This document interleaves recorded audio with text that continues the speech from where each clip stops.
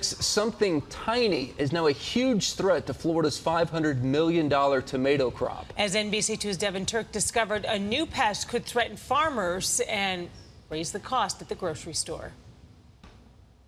The whitefly is only about a millimeter in size. It's a little pest that could have a big effect in one of Southwest Florida's most important industries.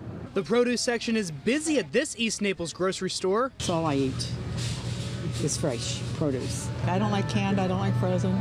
But could a small pest called the whitefly threaten Florida's produce? That's the $500 million question. For sure, I'd be concerned about that. Yeah, that I would be concerned. Farmers have managed the impacts of the pest for years, but a different biotype of the whitefly has people paying attention.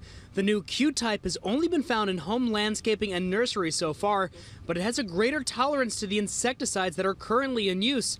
The widespread fear is the pest may have the potential to spread the disease to crops and vegetables. As someone who loves vegetables and fruits, that could affect me for sure.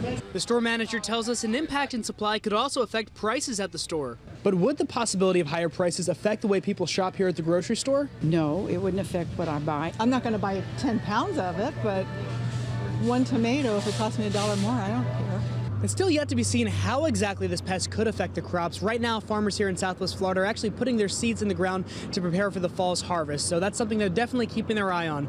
Reporting in Collier County, Devin Turk, NBC2.